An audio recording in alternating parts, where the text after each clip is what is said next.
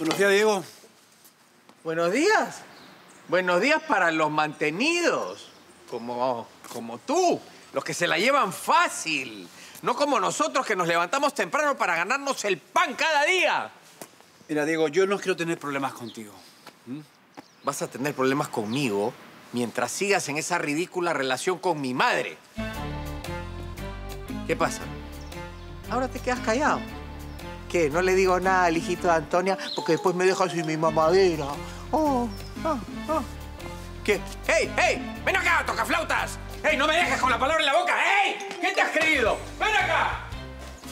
Oye, oye, chapetón de cuarta, a mí no me dejas con la palabra en la boca. Un momento, ¿qué haces en mi casa? Sal de aquí, tonorrón. Sácame. Sácame. Vete de aquí. Oye, ¿qué es eso? ¿Qué, es esto tan bonito acá, eh? ¡Eh, no toques eso! A ver qué melodía vas a tocar con esto. No me toques los ¿Eh? Que no te enteras. Que no te enteras. ¡Dame, dame! ¡Dámelo! ¡No! Ahora, ¿sabes cómo se llama esta melodía? El llanto del arrimbao. Te voy a reventar, tontorrón. Eso, eso, acá en la cara. Acá en la cara para que mi madre se entere de una vez qué clase de imbécil eres. Dale. Dale. ¡Ah! ¡Ah! No te atreves, claro. Eres solo un arrimao. Un vividor que ha perdido el do de su clarinete. Dame mi clarinete.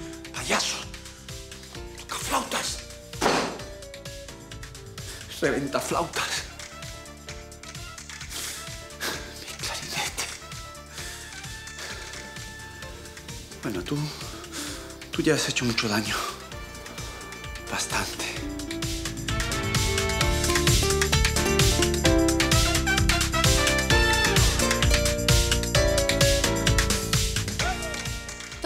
Permiso para la fiesta de Cintia. ¿Y a quién le vas a pedir permiso? A mi mamá, porque la última vez que fui a la discoteca le mentí a Tito, entonces no creo que me dé permiso. Ah, sí, Tito es piola. Sí, por momentos, pero no sé por qué últimamente lo siento como... como fastidiado. Fastidiado. Está templado tu viejo. ¿De quién? De tu mamá. ¿Qué hablas? Claro, pe. ¿Tito quiere serruchar a novio fino? ¿El motivo? Le gusta a tu vieja, pe. No le gusta. Ay, Maripaz, se muere por ella. ¿Y por qué dices eso que lo quieres serruchar?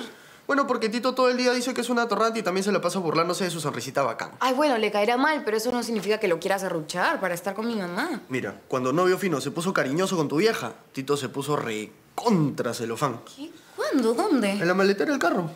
¿Mi mamá y Maxi se metieron en la maletera del carro? Ah, no, no, no. Ah. Tito y yo. ¿Qué? ¿Qué? Ah, no, eh, bueno, tu viejo me lo pidió. Es que no le da buena espina ese pata y cree que algo oculta y tu viejo quiere descubrir qué es para protegerlas a ustedes dos. Pero mira, Maripaz, ese cuento ni con gaseosa me lo paso, pe. Entonces tú dices que Tito lo quiere sacar del camino porque está enamorado de mi mamá? Afírmame. Te lo juro.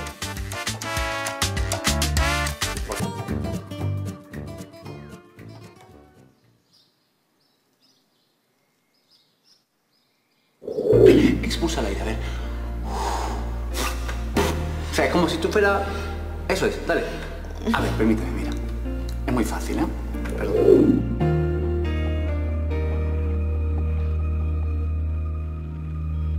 No dejo de pensarte. Perdón, pero las cosas tampoco son tan...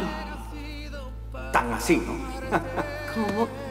Eh, que, que- que recién nos estamos conociendo, ¿no? Y tampoco te, te, te he confirmado lo, de, lo del viaje. ¿Acaso no? Xavi. Charo, por favor, no sigas. Estás perjudicándome. Soy un poeta, solo escribo lo que siento. Merezco esto y mucho más, Charo. Haberte hecho tanto daño.